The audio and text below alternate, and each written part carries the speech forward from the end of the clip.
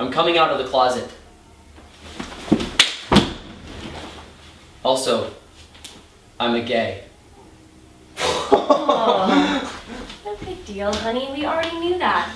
We love you very much, son, no matter what. Hmm. Now, go to school.